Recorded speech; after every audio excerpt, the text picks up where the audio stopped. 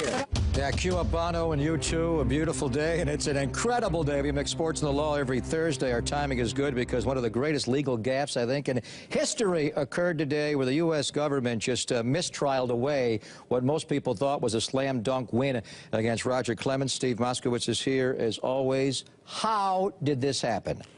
That is going to be a great mystery because it was so basic. I mean, the judge talked about a first-year law student was better. Forget about that. You don't have to be an attorney at all. The judge says, don't do something. And right in his face, you do it. That you never want to get any judge mad, but that really flies in his face. So what's happened is defense counsel asked for a mistrial. It's thrown out.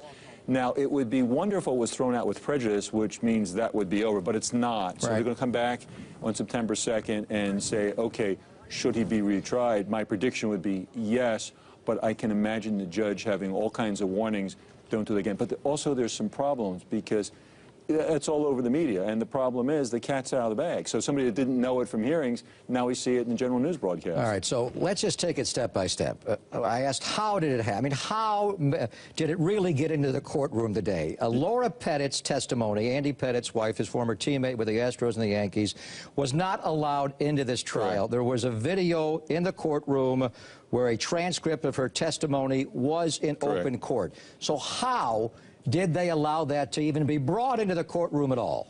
Well, physically, the attorney brings it. You're not physically But the judge told like you that. not to bring it in. That's Why would you bring any video of that in the room? I sure wouldn't have done that. But I think 99.9% of the lawyers wouldn't have done that. And the problem is in opening, the thing that bothered me so much, it, it's not something technical. It's not in the heat of battle. We're in a terrible argument and something slips out. Here it's opening. You say, we're going to show you this. And you showed up. You said, wait a minute.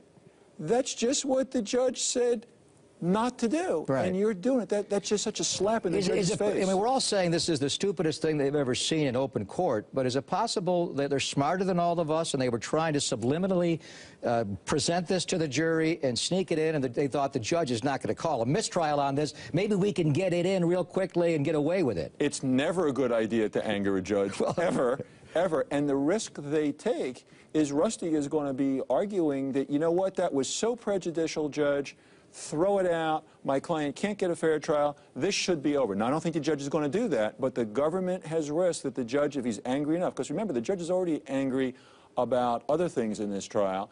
It's enough that the judge, maybe he'll consider it. And if that happens, the case all goes away. I don't think it will, but that's a risk they're taking. U.S. District